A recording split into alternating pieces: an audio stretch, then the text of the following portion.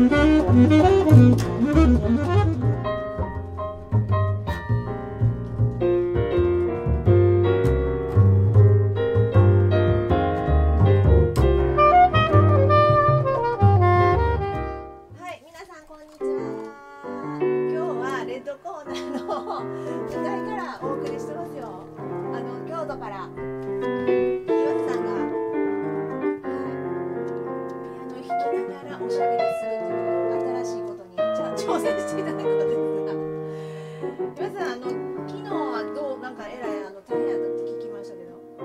大変なお仕事をこなしてきたと。発表会で。あ、あと、うん、大変でしたね。ちょっと声が枯れて。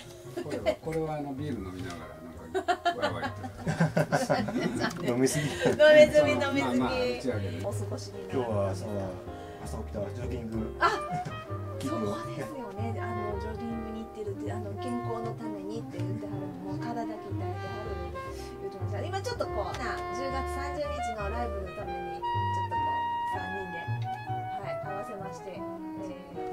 ー、言わせマジック。をちょっとぜひサウンド言わせマジック。